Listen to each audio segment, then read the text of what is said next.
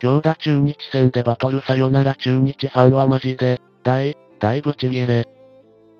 さよなら。シャーはあろた。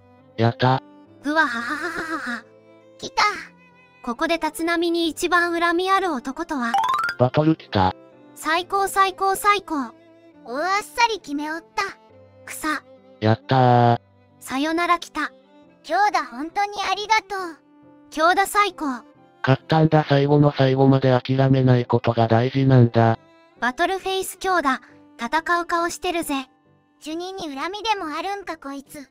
キャリア初のさよならが中日相手はできすぎだよ。戦うから強打陽太最高や。8回終了時連勝の中日唯一のポジポイントが、三振。バトルゲッツー。変則バトルゲッツー。さよならタイムリー。これは手首がねじ切れる。何があれって拓郎がくっそはしゃいでるのがおもろい。バトルグッバイ。グッバイ雑音。横浜スターナイト10連勝最高なんだ。ヤー12球団ファンのみんな。今日の試合見ててくれたかな？わあさ、行こう。お前変わったな。涙。三浦のスターナイト不配信はすごすぎやろ。かつてはスターナイトメアとか言われてたのに番長強すぎて草生える。これは戦ってますわ。もしかして戦う顔をしているのでは？首位空いてる？恨みしかない定期。タッツ、一体何がいけなかったんでしょうね。今シーズンの中日の息の根を止めたと言ってもいいドラマティックな9回10回だったわ。中日はダイソー守備固めで全てを使い果たしてたからな。中日ファンだけど最高です。立浪負けて最高です。少々。チュニドラが広島から稼いだ白星奪うの最高や。二併殺の佐野が切り開いたチャンスもでかかったし結果的には神試合やったな。中日が弱いっていうより立浪の謎采配が際立つ3連戦だったわ。よりによって他に試合がない日にこういう芸術点の高い負け試合をやるのが立浪なんよな。大丸がやられる。よりによって強打にサヨナラを決められる。中日ファンは辛いな。W、強打に一番早く駆け寄ったのが拓郎でなんか良かったわ。熱心に指導してたみたいだからな。バトルサヨナラの五感の良さよ。立浪の前で強打がサヨナラヒットを打つとか、ちょっとストーリーができすぎじゃないですかね。渡来のやらかしから逆転された試合を強打がサヨナラで締めるってのもなかなか、裏で思いっきりバトルハグしてほしい。いや割とマジで歩かせて代打ヤマトの方が良かったんちゃうか。福永に無意味なダイソー出してカリステも引っ込んでて延長勝てるわけないわ。野球舐めてるだろ立浪は。朗報、浜の遊撃手。ついに埋まる。戦う顔してるぜ。丸。京田さんはいい選手ですね。守備もうまいし、広島から白星横流ししてくれてサンキューな。地味に強打っていうキラーじゃね。とぼけちゃってなん勝手に混じってんだ。ん？打つ方は何とかします。冷静に考えて強打と砂田がトレードとかアホじゃないかと。誰だよこんな不釣り合いなトレード決めたやつは。なんとかしますが正解だったんだな。前の打席が擁護不可能だったから自分で自分を救ったな。スターナイト10連勝。長らくコンセだったが2チーム脱落したわね。お前ら変わらんかったな。砂田って今何してんの？先発も中継ぎも踏ん張ってワンチャンスをものにする。まさにチームでもぎ取った一勝って感じだわ。10回表3本で抑えた森原も偉い。タッツの好きそうなポテンヒットやな。返すとは言ってない。もう全試合スターナイトでいいだろ。ヤマトはヤマトで成績から予想つかないほどのサヨナラ男やで。歩かすなら満塁策になるかと。中日が考えられる一番最悪な負け方を具現化したな。しかも横浜アレルギー完全に思い出してこっから勝ち越しは無理や。8回から9回にアウトまで到底ひっくり返るような展開も空気感も見えなかったのにな。飛球一つで残酷にも変わるもんやな。放出ありきのトレードだったから交換相手も足元見られたけど、砂田なんてただ飯くらい疲労くらいなら金銭選手でよかったわな。まずタッツが一番見たくないであろう負け方だよな。今年は違うって言ったじゃないですか WWW。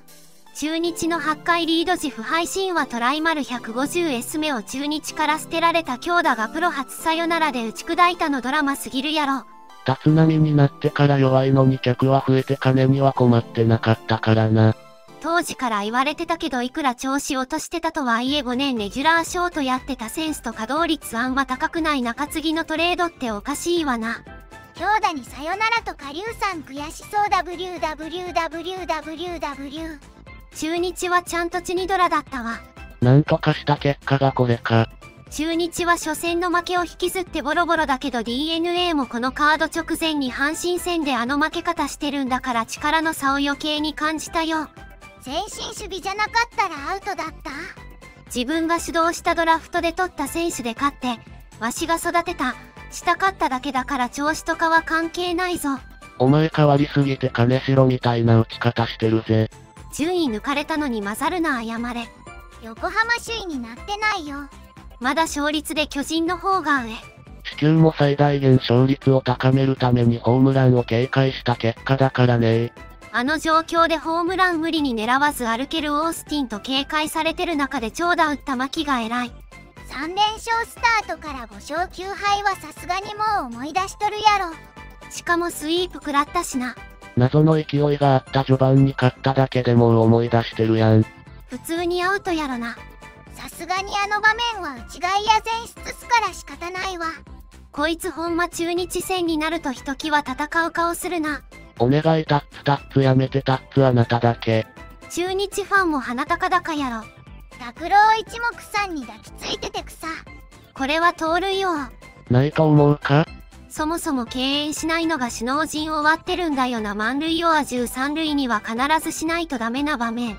片岡は残ってもいいのか優しいな中日球団と立浪監督どちらにあるやろな。トレード前の強打はお世辞にも良いとは言えなかったのは事実。ただポジション、年齢、実績考えるとトレード市場にそう簡単に出していい選手ではなかったね。バトルドラゴンキラー強打結局広島が弱すぎたという結論。これはバトルテキサス。完全に死亡しているヤクルトとそんな差がないのはマジで笑えない。こういう実績があるとオカルトを信じてしまうチュニドラに圧倒されるほど弱い広島、バーサス、ヤクルトという名の死体。上司の天敵から白星を奪って、全てを献上する部下の鏡か？立浪さんいつも放出した選手に分からせられてて可愛い。松本もよく抑えた中日って本当すごいよな。3連勝した後に3連敗しそうってた球団ファンと中日研究家が予想していたらその通りになるんだから。バトルフェイス強打にやられるとか、タッツはマジでエンターテイナーの勘や。前進守備じゃなかったらああいう打ち方してないだろうし前進守備しないと内野ゴロでさよならだから無意味な仮説や。点で返します。三浦もクソ采配してるんだけどな。ノーアウトで山本ヒット、森がダイソー、強打バントセス強行から3、森盗塁し、まあガチャえんや。強打は恨みなんかないやろ。むしろ最底辺のドベから抜け出して、大喜び。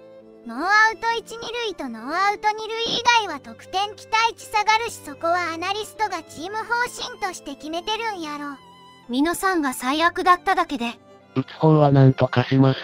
強打の、こういうかっこいいユニフォームを着るのは初めて、で草生えた。ただここで打順調整した結果でもあるから野球は面白いバンドでホームランぶち込める強打者やし当然やな。お前変わったな。7連勝からの8連敗とか毎年やるからな。3連勝ごときで浮かれてるやつはにわか中日ファンやまあ前進守備の穴をついたバッティングだからな。観客が余計なこと言うなよとドキドキしてるところ。案の定微妙に焦げ臭い発言するのまさに今日だと思ったわ W。観客があって感じで静かになってたぞ W 京田は横浜に来て本当に良かった。恨みしかない定期。京田は横浜来てよかったなマジで。